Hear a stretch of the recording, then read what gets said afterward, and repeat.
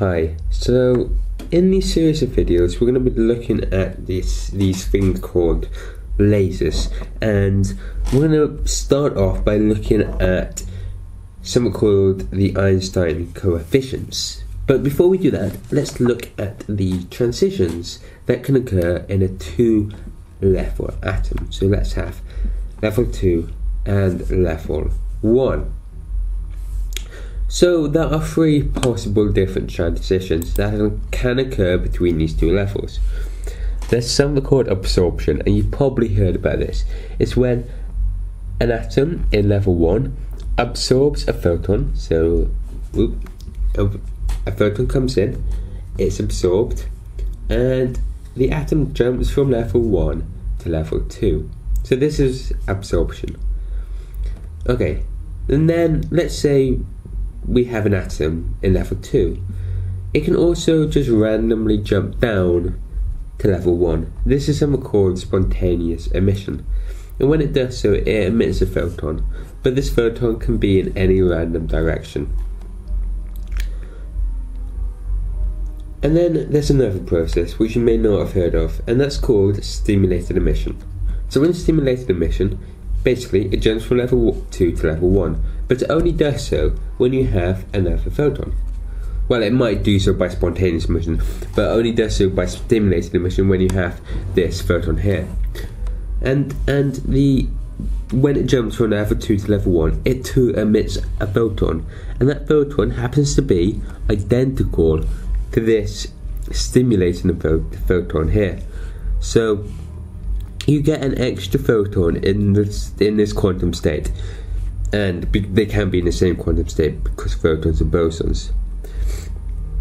Uh, we don't. I, you don't need a detailed understanding of the cause behind stimulated emission. You just need to know it happens to understand lasers. If you want to learn more, um, it's to do with you need to, uh, to do a full treatment of like the quantum theory of light. So you need to try, treat light as quant, a quantum entity rather than a semi-classical one, which is often done. Okay, so how do we quantify these transitions? So let's write them down. We had absorption. Ooh, I'm going to change pen because that one's not very good. We had absorption. We had spontaneous emission and we had stimulated emission. Well, we quantify them by something called the Einstein coefficients.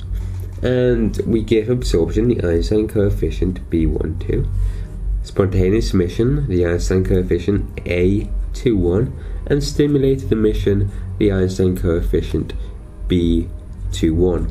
So the first number here is the state it moves the, the atom or electron moves from, and the second number is the one it moves to the B's here kind of tell you that those are the ones that are to do with an external, you need an external electromagnetic field for. Okay, so let's start with the easiest, and that's spontaneous emission, because you don't need anything external. A21 is simply the probability per unit time that an atom or an electron in level 2 will spontaneously decay to level 1. So let's imagine we have N2 atoms per unit volume. Then the rate of change of N2 must be equal to minus A21 times by N2. So that's the probability that a single atom per unit time will decay times by the total number of atoms. That should be straightforward and that's simple probability and that's the definition of A21. Okay, so, what about B12 and B21? Well, you might think, okay, we'll just define them exactly the same way.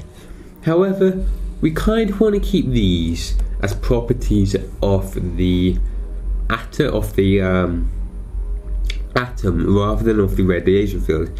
And if we were to define them in the same way we defined A21, then they would actually be properties of both the atom and the radiation field. So we need to be careful about this.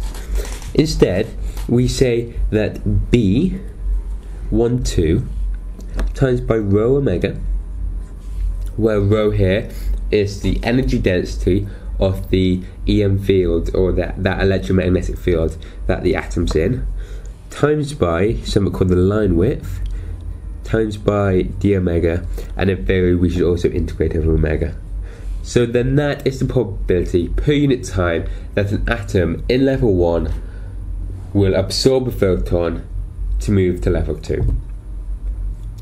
And if you want to be like take the integral away then then this describes the probability that it will move from level 1 to level 2 by absorbing a photon within a range of omega given by d omega. And as such we'll put the integral back in. So I'm guessing you know what that is, and this here basically represents it's basically like a scaling function. Um, it's basically the probability that given that uh, B12 has absorbed an atom, that it has a photon, that it has uh, an angular frequency omega. It's basically like tell you how likely uh, such an absorption is to occur at a given frequency. Okay, and if we were to write down our equation we had last time, but this time let's write it in terms of um, n1. So this is the number of atoms in the lower energy state. This is simply going to be n1 times by b12 times by rho omega phi omega d omega. And in theory, this this this here the Einstein coefficient doesn't depend on omega, does not depend on omega, so you can bring it outside the integral. Okay, that's the definition of B12, and um, B21 is just defined basically exactly the same way, except you do that, and you would have to change that to two. So it's defined as the probability per unit time that such sorry it's defined such that this here is the probability per unit time per unit atom per atom I guess that uh, it, an atom in level 2 will decay by stimulating emission to level 1 okay by the way if you can hear like music or whatever in the background it's not mine. Um, I think it may be someone outside or whatever. Okay so they are basically the Einstein coefficients.